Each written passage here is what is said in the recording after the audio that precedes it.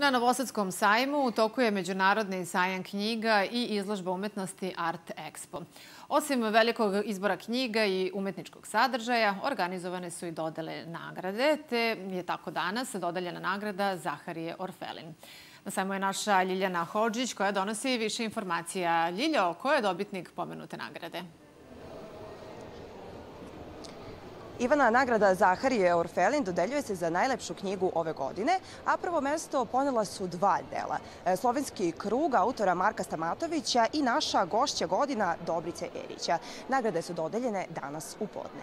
Zaista je veliki izbor knjiga ovde na sajmu, a pored mnogo novih dela možete da pronađete i mnogo polovnih po zaista jeftinim i niskim cenama. E, ono što je takođe interesantno je to da je organizovana razmena knjiga koja funkcioniše tako što možete da donesete svoje stare knjige, neka štiva koja više ne čitate, da dobijete voucher koji posle možete da iskoristite za kupovinu nekog drugog dela ovde na sajmu.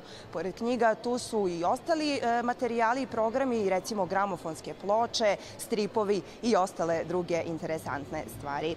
E, posetioci naravno imaju priliku da se druže i sa svojim omiljenim piscima. E, u subotu je najavljeno gostovanje jedne od najpopularnijih trenutno spisateljica britansko-američkih. Njeno ime je Tracy Chevalier Italije, dakle u subotu u 16 časova ona će biti gošća sajma. E, Podsećam vas da i RTV ima štand ovde na sajmu i da emitujemo emisije direktno sa sajma. Za vikend vas očekuju Mustre i vaš RTV. E, Međunarodni sajam knjiga i izložba umetnosti Art Expo traje do 9. marta, pošto je danas petak.